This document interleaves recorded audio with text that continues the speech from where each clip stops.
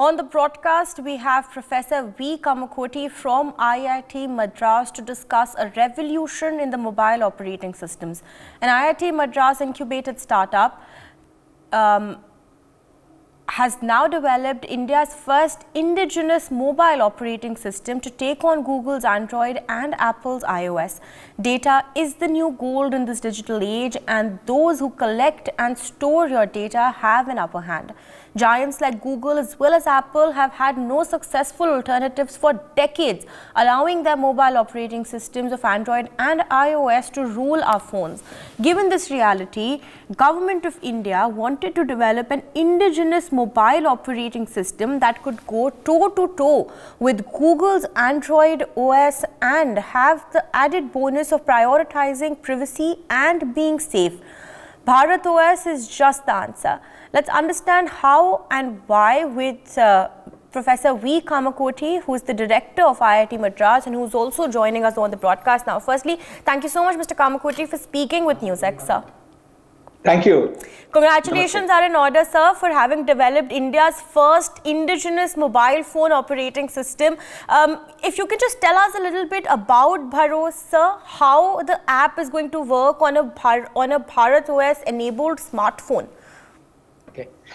So uh, today, uh, smartphones are becoming quite, uh, quite close to day-to-day -day living.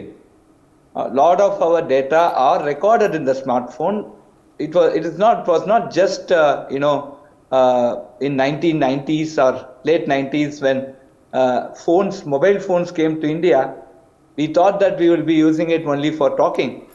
But today we are using it uh, for a lot of things other than talking. And that makes the phone uh, more you know more closer to human living and a lot of data about ourselves are recorded in the phone. It can also be health data. It also means when you are getting up in the morning, your alarm data from everything is there. And where you go, uh, you know, uh, so the locations where you go, everything can be logged in today. Hmm. Given that, and that lot more of commercial transactions are happening over the phone today, and a lot of confidential data in terms of emails and messages also get exchanged. Your OTPs are, uh, you know, the second party, uh, second uh, factor authentication happens over mobile there is a need to uh, have a lot more security uh, uh, against you know apps that can basically steal the data against operating systems which can be hacked into and you know data can be taken out. So in this direction, uh, IIT Madras had been uh, working on concepts like, can I have uh, a software? Mm. Note that operating system is a software. Yes. Can I have a software that can run on a mobile that can never be manipulated? Manipulated in the sense, even if you change a bit of it, mm. the mobile phone should stop working.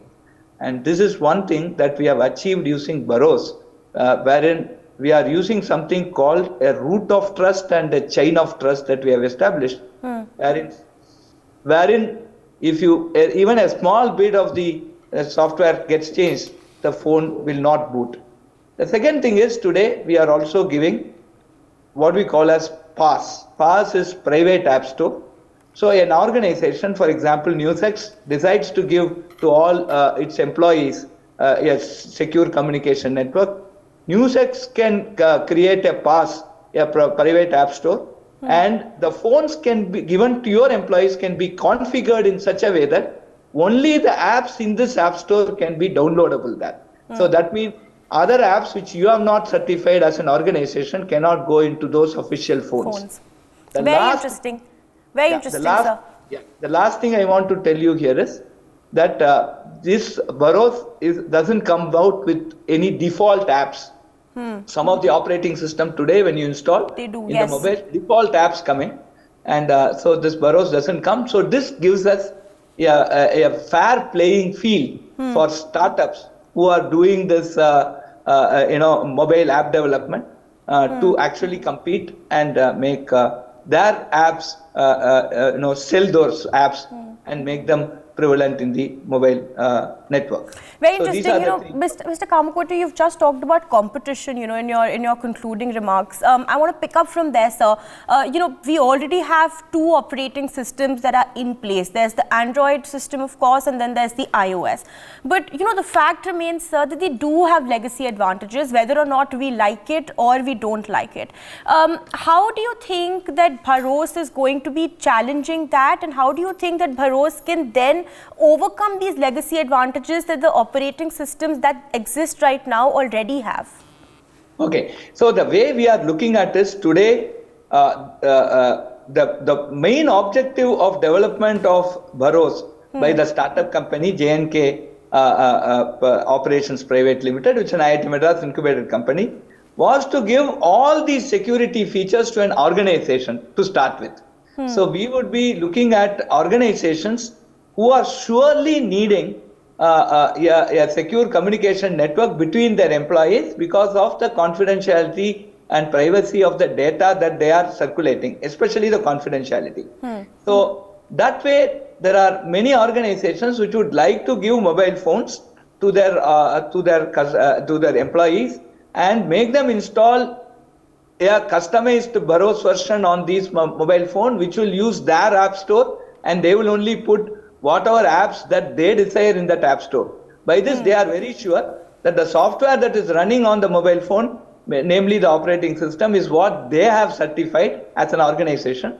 And whatever apps that are going to be installed on that is again hmm. certified by the organization. So, so, so from what I understand, so from what I understand, you're saying that this is going to be for organizations specifically. But what about a commercial rollout, sir? Is that also yeah. something that you're thinking of maybe in the later stages?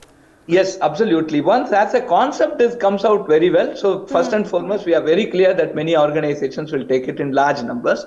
The next thing is that an organization, say with 10,000 employees, is one, uh, we call it as a company, for example. If an mm-hmm. organization with say 4 crore people actually becomes a consumer product. Yes. So more and more as and when the people actually start uh, wanting this type of a security, which we hmm. feel will happen in, in, in, in, in very uh, quick future uh, because of a lot more of uh, you know internet mobile related hackings that are happening this type of a security requirement will come and that time we will have a, a very important uh, uh, you know commercial rollout uh, the, the uh, across India for and also globally if needed hmm. Uh, for, for a secure operating system and a secure app store.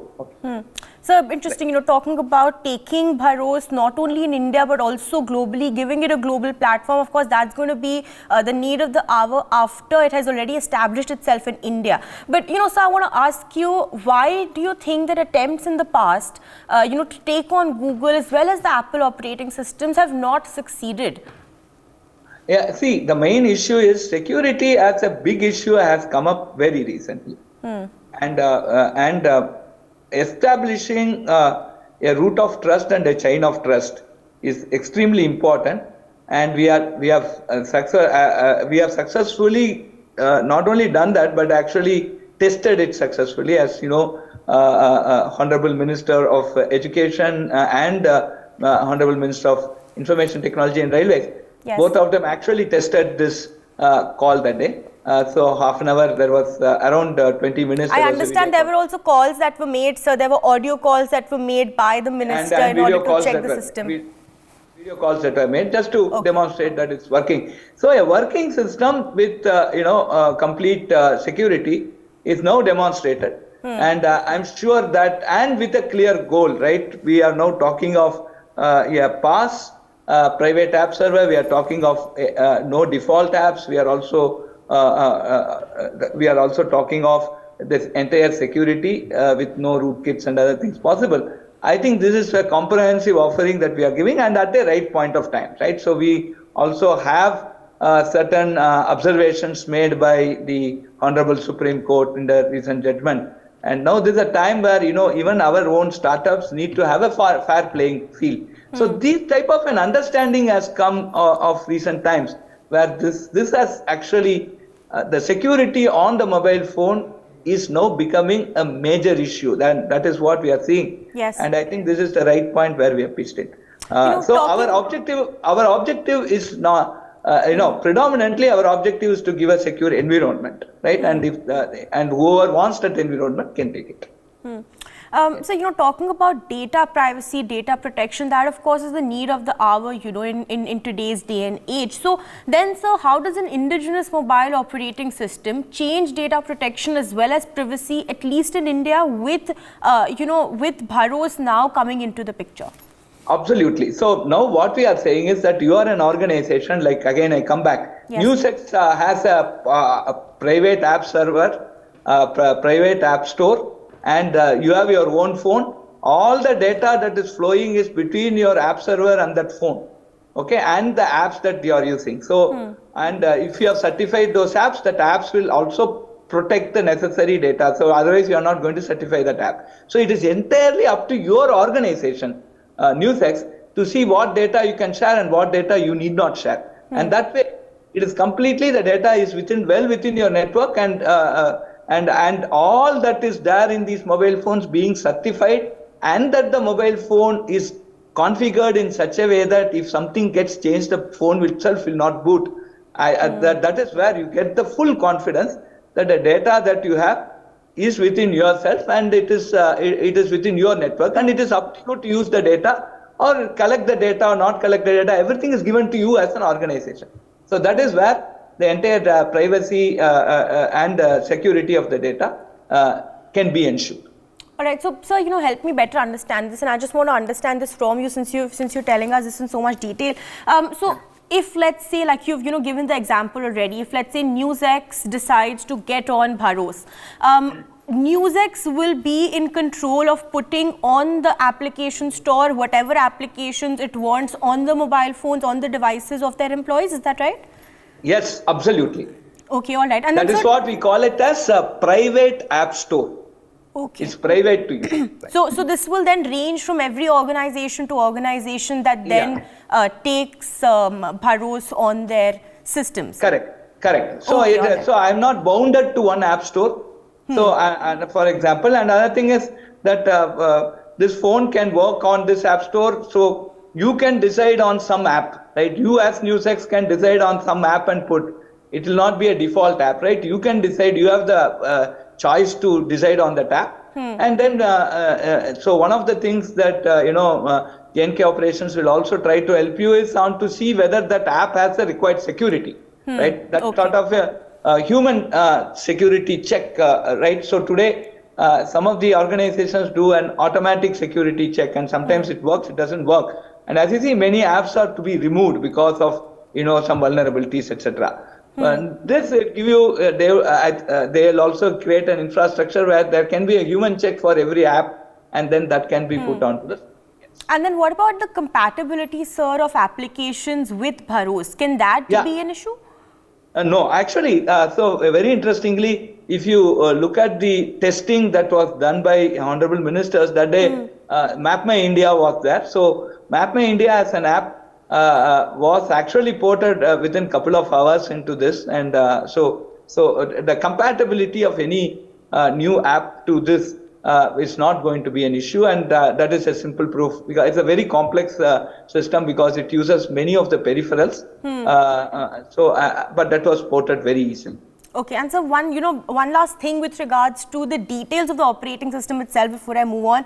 Um, so what about what about applications that are already compatible with, let's say, iOS or um, Android? Are they also going to be able to work on Bharos, or are they going to need a new compatibility system, um, more user interfaces, user checks? How is that going to work? Yeah. So, so some of the things are uh, if the APIs need to be tested once, and if the APIs are tested, then this uh, these uh, software can be ported.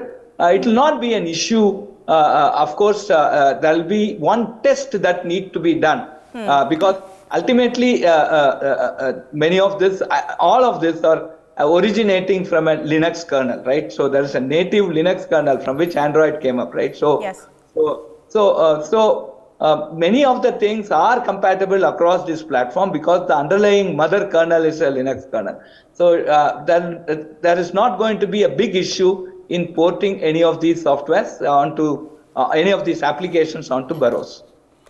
Brilliant, sir. Thank you so much for so patiently explaining that to uh, me as well as our viewers watching this. It's very interesting. Um, so, sir, you know, moving forward now, I want to ask you, and the government as well as the private sector have shown so much interest in the application. You know, I've been going through news articles after news articles about how the private sector is also so interested in the software itself.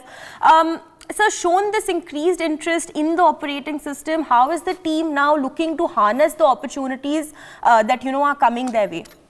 Yeah, so one of the first and most initial thing that we would like to take up uh, the, the the team uh, JNK uh, Operations Private Limited is to basically start working with some of the organizations hmm. Uh, because that will be uh, as you know this is a start right so we have just tested and so with the organizations and uh, see that uh, they could give a private network for these organizations, right? So that will uh, uh basically, uh, you know, uh, freeze a clear process of how to roll out. there is no doubt that this can scale up to crores of users, right? But mm. we would like to do it for thousands or ten thousands, tens of thousands of users to start with. I think that is what they will do in the next six to eight months. And once uh, that is successful, I think this will move on to the next stage. Right. You know, talking about the consumers, sir, talking about the people that, that you know that you expect to reach out to, India, sir, um, you know, as a fact, is the second largest consumer markets as far as the smartphone industry is, is concerned, you know, in the world, um, yes. only after China. So what yes. potential does our market space then serve for indigenous mobile technologies such as Bharos? Yeah, so the, the main uh, issue uh, in a uh, full consumer scale ro rollout is the basic uh, usage of this operating system should be friendly yes. and uh, the, the, the type of uh, apps that are going to be loaded has to be quite versatile. These two are from a user perspective and the last one is that, that there should be a trust that is built on, on that this system will work correctly and to actually need, reach these three goals, namely uh, usability, the, the, the variety of apps, and also the trust. Uh, uh, the, the initial exercise of trying to work with individual organizations will hmm. give the company lot more of uh, insight based on which they can take it roll out faster. Uh, but I'm very sure as a, a professor of teaching information security for quite some time, the time is not quite far off when there, there will be a need for a very, very intricate security uh, on the mobile phone, even mm. for general consumers uh, like us, and uh, is not necessary for strategic, but even for civilian purposes. And that day uh, is not very far off. And that day we will have uh, one indigenous answer uh, Atmanirbhar answer from India. We already have an answer, sir. Thanks to you as well as the team for getting us this answer. Um, by when can we expect private organizations or some few organizations to get the Bharos uh, software, sir? Uh, uh, in my opinion and in my wish and pray that in another two to three months, there should be at least a couple of organizations who are running full-fledged on it. So before we let you go, uh, is there any possibility that NewsX can get a sneak peek of this software before its rollout? Is, uh, that, is that possibility there, sir? No, I, I am I am I am director of IIT Madras. It is this whole thing is done by a IITM incubator company, so I cannot answer this question there. No worries, sir. Thank you so much. For more such videos, subscribe to the NewsX YouTube channel, hit the bell icon.